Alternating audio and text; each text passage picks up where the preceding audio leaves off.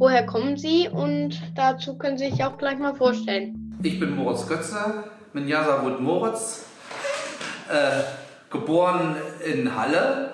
Ich komme aus einer Künstlerfamilie. Meine Eltern haben also vor 50 Jahren an der Burg Giebichenstein studiert. Mein Vater ist freiberuflicher Maler. Insofern war das so ein Künstlerumfeld und ich hatte an sich nie vor, Künstler zu werden. Ich wollte immer was ganz anderes werden und bin nun doch aus Versehen Künstler geworden. Was ist Kunst für Sie? Oh, das ist, das ist, das ist im Prinzip ist, äh, ganz viel Kunst. Ja? Also das ist jetzt nicht nur Malerei, was ich mache und nicht nur Musik, sondern und nicht nur schöne Architektur. Das, das, das, das Größte an Kunst ist schon, dass man irgendwie äh, in richtiges Leben, dass man sozusagen den Weg zum richtigen Leben findet und wenn man dann noch eine künstlerische Art hat, findet man dann auch noch äh, den Weg zur richtigen Kunst. Und was ist modernste Kunst? Modernste Kunst. Ich glaube, das gibt es gar nicht. Das gibt Kunst und es gibt nicht die modernste Kunst, wie es auch nicht gibt äh, die Wahrheit. Äh, das, was jetzt die moderne Kunst ist, ist morgen vielleicht dann auch schon wieder die alte Kunst. Und dann gibt es so jemanden wie Michelangelo, wenn man den sich nach 500 Jahren anguckt, oder Caspar David Friedrich nach 200 Jahren, empfindet man das immer noch als total modern. War Ihr Lieblingsfach in der Schule schon Kunst? Und waren Sie darin der Beste? In der Schule war ich in Kunst nicht gut. Und äh, also damit, ich war so, wahrscheinlich so am, am hinteren Ende. Ich war überhaupt ein ganz schlechter Schüler. Und ich war im Prinzip in allen Fächern absolut schlecht.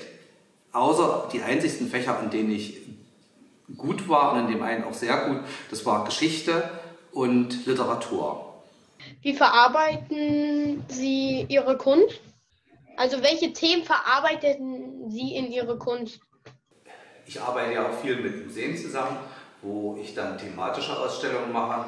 Und dann gibt es aber auch Bilder, wo, wie jetzt in Corona war, das in der Corona-Zeit eine sehr schöne Zeit, wo ich mal gar kein Thema vorgegeben habe, wo ich mich dann ans Blatt Papier oder an die Leinwand setze und dann male ich einfach und ich weiß gar nicht, was oder für was das sein soll. Einfach nur so. Was machen Sie für Kunst? Naja, das ist immer, das ist immer also so jetzt das, das Schubfach, das ist immer schwer, sich einfach, also auszudenken. Äh, wenn Ausstellungseröffnungen sind oder wenn Zeitungsartikel geschrieben werden, wird das, äh, was ich mache, oft als Pop Art oder deutscher Pop bezeichnet. Aber das ist eine Begrifflichkeit, mit der ich selber nicht so richtig glücklich bin. Und äh, da denke ich jetzt schon seit 30 Jahren nach, was ich an sich mache. Das weiß ich nicht. Ähm, was ist Ihr bekannte, bekanntestes Kunstwerk? Naja, das kommt ja immer auf die Region an, aber jetzt hier so in, in, in dieser Region ist sicherlich das bekannteste Kunstwerk, was ich gemacht habe in Leipzig. Gibt es im Zentrum der Stadt so ein großes altes Messerhaus, Speckshof. Und da gibt es eine Einkaufspassage und da den zentralen Lichthof, der bestimmt so 20 Meter hoch ist, den habe ich mit Keramiken gestaltet ist auch mit der Bekanntheit immer so ein Kommen und Gehen. Welches Bild hat Ihnen am meisten Spaß gemacht zu malen? Hm, das kann man nicht sagen. Das, äh, weil, ich meine, es gibt immer manchmal Phasen, wo das auch Spaß macht, ein Bild zu malen, aber oft macht es ja auch gar keinen richtigen Spaß, weil man ja immer so im Zweifel ist. Man will ja ein tolles Bild malen und dann ist man sich unsicher, ist das gut, ist das schon fertig oder muss man noch weiterarbeiten. Und äh, das ist ja immer so ein Prozess. Also, wenn ich mal hier die Kamera drehe, äh, ist da jetzt hinter mir, hier so ist ein Bild, das steht schon zwei Jahre bei mir rum. Und, äh, und daran arbeite ich und weiß immer noch nicht richtig, wo es hingehen soll. Und, äh, und dann gibt es manchmal so eine Bilder, wo man so lange dran arbeitet und die einen quälen und wo man dann aber zum Schluss auch mit zufrieden ist. Und manchmal arbeitet man so lange an so einem Bild und findet das zum Schluss total bekloppt und dann stellt man das dann irgendwann, äh, weil man keine Lust mehr hat, dran weiterzuarbeiten, zu den fertigen Bildern und dann steht das dann halt Und dann hofft man, dass vielleicht irgendein Wunder passiert, dass man sich das in 20 Jahren nochmal anguckt und sagt, oh, vielleicht ist das doch gar nicht so schlecht. Welches Bild gefällt Ihnen persönlich am besten? Es gibt ganz viele Bilder, die mich total äh, emotional äh, aufregen und die ich toll finde. Also von ganz vielen unterschiedlichen Malern. Aber zumindest ist für mich bildende Kunst oder sagen wir mal so gemalte Bilder sind für mich schon was ganz Wichtiges. Wo haben Sie schon überall ausgestellt? Ja, also da kann ich sozusagen äh, voll auf die Kacke hauen. Ich habe an sich schon überall ausgestellt. Also außer Nordpol und Südpol. Äh, und äh, Afrika nur mit Tricksen. Ähm, wie kommen Sie mit der Corona-Zeit klar? Naja, ich, da die Frage an mich ist, war die Corona-Zeit eine sehr gute Zeit. Normalerweise bin ich immer unterwegs und dann bin ich mal zwei, drei Tage, wenn ich Glück habe, mal eine Woche in Halle und dann im Atelier.